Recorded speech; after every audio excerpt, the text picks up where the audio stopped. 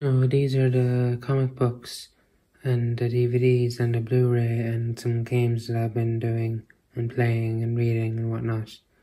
And let's start with Dune.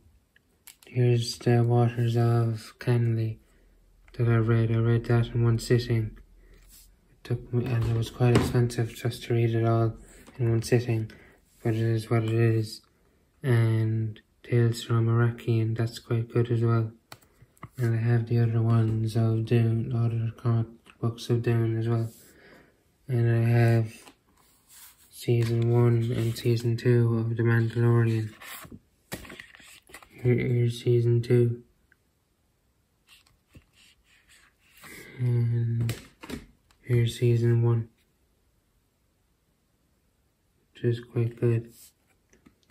And I have this as well, Star Wars Rise of the Sith.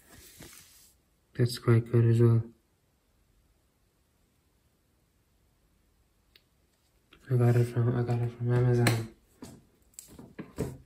And next for the games and the the movies and Blu-ray. I have Lego DC Villains. That's that's an alright game. I haven't played it at all because there's puzzles in it, and I don't really like puzzles in games, but it is what it is. And I watched Creed 3 on Blu-ray. That's quite good as well.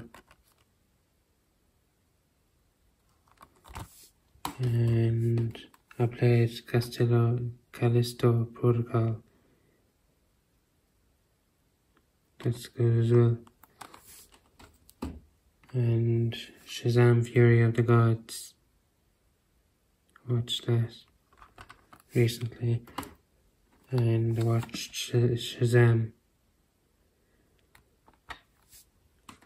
That's a continuation from Shazam Fury of the Gods.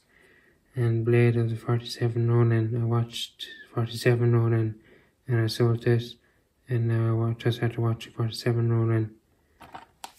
I have, I have this, I haven't. it's been a while since I've seen this. but it's quite good. But I don't think I'll be watching it again because I kind of like to watch things once. I'm, I'm one of those kind of people.